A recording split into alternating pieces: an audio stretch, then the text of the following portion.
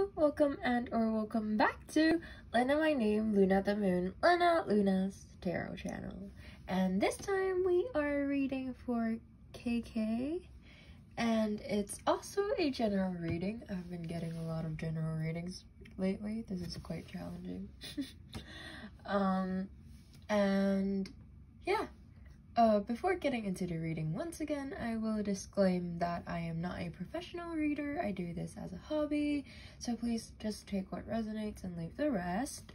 Um, I am trying my best. Uh, I am trying my best, so please be nice.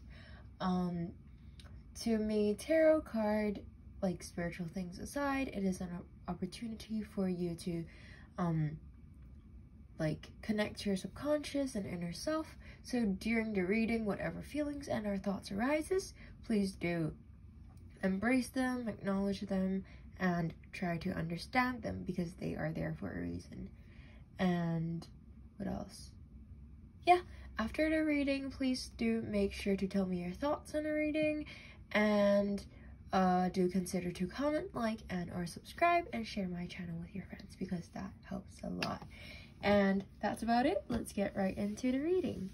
So, your tarot card is... Hmm, okay, cool. So your tarot card is the Justice card.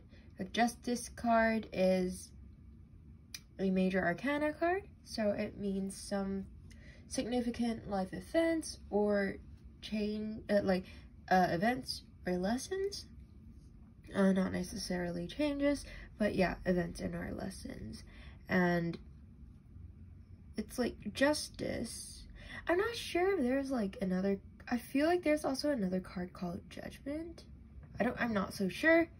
Whether or not that, I just feel like in terms of justice, I feel, think of judgment because like, you know, court and like just seeing what's right or wrong, um, moral compasses, those kind of things. So I feel like um, some really big decisions will come to place either now or soon enough. Um, and also if we look into this card, um, there's someone who has power because look at this, um, this sword. A sword is a very threatening thing, but uh, it's a weapon, but this person is not using it, they're just holding it. So it feels like they have power, but they're not using it as of right now. They, it feels like they're currently being blinded. They can't see the situation that clearly as of right now because as you can see, it's like they're blindfolded, blindfolded. So it feels like um this situation um okay so sorry it's like a lot of things. I, I like it's okay i feel like it's certainly very overwhelming because usually what I say is kind of co coherent, but then now I'm just like seeing all these different things, such as like the sword, the blindfold, and then there's this sun looking thing, so that means like some sort of guardians or like just like higher power is looking over the situation um and yeah it just feels like to sum it up there's a situation that either right now or coming soon that's that will need a very big decision to me to be made. The decision will possibly be quite um life-changing and maybe you need to cut out some people in your life. I'm not so sure why I thought of that. Maybe it's because of the sword, but it came up. Um, and then there's this, yeah, you have this power within you that you're not using at, like, as of right now, because you are uncertain of the situation yet, but you can feel it, it feels like. Um, but certainly, like, um, you cannot see it because the blindfold and then you are not doing much about it yet even though you have the power to. And also it feels like this situation will really work require a lot of inner work, um, a lot of your emotional abilities, like your emotional like you really you really need to be emotionally strong for this. And i feel like as of right now you are strong enough because um this is a feminine power usually that relates to like uh, inner self inner work and those kind of things. And then this person as i said holds all these powers. And then like they have a crown on their head. Um she is like like their posture is really straight and confident. So you are certainly emotionally well enough to deal with the situation. And the situation will require a lot of these um, abilities and capabilities. Not so sure if this makes sense, but let me try to make sense of this. So, there will be a big judgment thing that you need to do to decide maybe some whether something's right or wrong. And you are a very deciding factor on this thing. Um it really requires your emotional capabilities.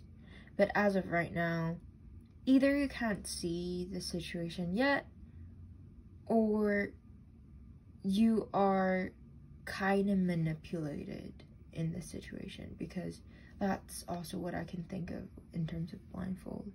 And that's just what I'm getting through the visual element. But let's take a look at the divinatory meaning of this card. So this card is the Justice card. One of the first troubling lessons the young fool learns is that life isn't always fair. Or more precisely, he learns that justice is more complex than he thought. Justice, as meted out by any human agency, is imperfect. Karmic or universal justice also plays a role in life and is harder to detect. detect. The fool's experiences teach him that while secular justice, or more likely, um, those who serve her, may be capricious, a higher level of justice operates in the world. This version of justice means that the fool's own actions carry consequences and help create his future. He realizes that he must mind not only when he does, but also why he does it. Intent matters. Divinatory meaning is that people are getting what they deserved. Although the situation may not be based on ideal justice, there is some sort of internal justice system at play. Those who behaved admirably will probably be pleased with their results. Those who haven't lived up to their own standards, values, and professed beliefs may not be so pleased. The advice is that if you behave well according to your own reckoning, stick to your guns and trust that justice will be served. If you haven't, don't try to argue, accept your lot with as much grace as possible and resolve to make better choices next time. So it does feel like, um, so this is, of course, um, this is the definition about you, but then at the same time, um, uh, I would say that this is more about, because as I said, you need to make a judgment. So it's probably there's something that you need to decide according to your own moral compass or like whatever.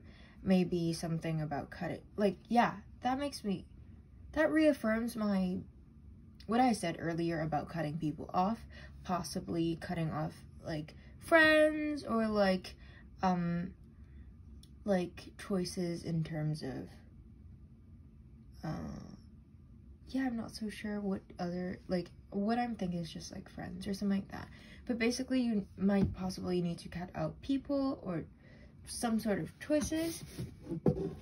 And you need to choose that based on your own moral compass if that makes sense at all I hope that it does because it's your own situation. So usually it's easier to um, make sense of it for you because you're in the situation. I'm sorry. I'm like, I'm really confused. So I'm, I feel like I'm repeating things a lot. I really hope that's making sense.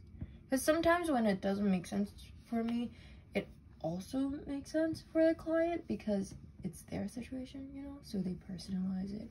Blah, blah, blah, blah. Anyways, please tell me your thoughts on it. But anyways, your advice from the moon is to work through your fears. So I feel like, okay, I said that you have enough, um, like, internal strength here. But then I, I think it's also possible for you to doubt your own capabilities or whether or not you have the right to make those decisions or those kind of things. But I just want to tell you that you are more than enough. You're good enough, you're more than enough, and things like that. Don't doubt yourself and work through your fears. And let's take a look at what this moon is about. So this is new moon in Scorpio. Work through your fears. This card suggests a rebirth. Think of your situation as the phoenix that's rising from the ashes, as the birth, death, rebirth paradigm. Pa parad yeah, paradigm. That's what Scorpio energy is all about. Whatever you've been through, uh, whatever you've been through, there's a new start ahead. It might be a little dark. It's it's almost certainly won't be rainbows and unicorns, but it will be deep and transforming. This card also suggests that if you know you're magical, then this is the time to work your magic. Can also herald the start of a sexier time. If you've been experiencing something of a drought and emotional intimacy, oh, alright, wait, and emotional intimacy is also on the menu. Scorpio is a sign that likes to go and deep into the body, mind, and spirit. So when this card comes up, there's nothing superficial about what's coming your way. Attuned to the moon is have a, uh, have some sexy time. Additional meaning for this card is that it's time to let go of a grudge that you're holding, move on from jealousy, stop being obsessive. Could it be that you're being paranoid? And make an investment. The teaching of this card is that Scorpio is the time of death and rebirth, magic and shamans. Its energy is a little bit dark, occult, even scary. Not all of us like to face, face the shadow, but Scorpio demands it. In fact, it's working through your dark side that you can get to the light. Oh wait, no. In fact, it's through working through your dark side that you can get to the light. The new moon in Scorpio and the appearances of this card at any other time suggest you need to do that now. Yeah, I'm sorry I'm stuttering so much today. Although this is not the worst. But I do feel like it is something with feeling overwhelmed in this situation. Because usually my state is like I won't say closely linked, but it's linked to the situation at hand. So honestly, even as I was shuffling the cards, it was like a little like going fast and then slowing back, like um, and then it feels like I needed to do that, but it was still kind of like it did nothing fell down. It was just the pacing that was a little erratic. So I feel like that's kind of you. Like you're calm and collected. But at the same time, there are times where you're just like panicky or like, um, what's that? Like,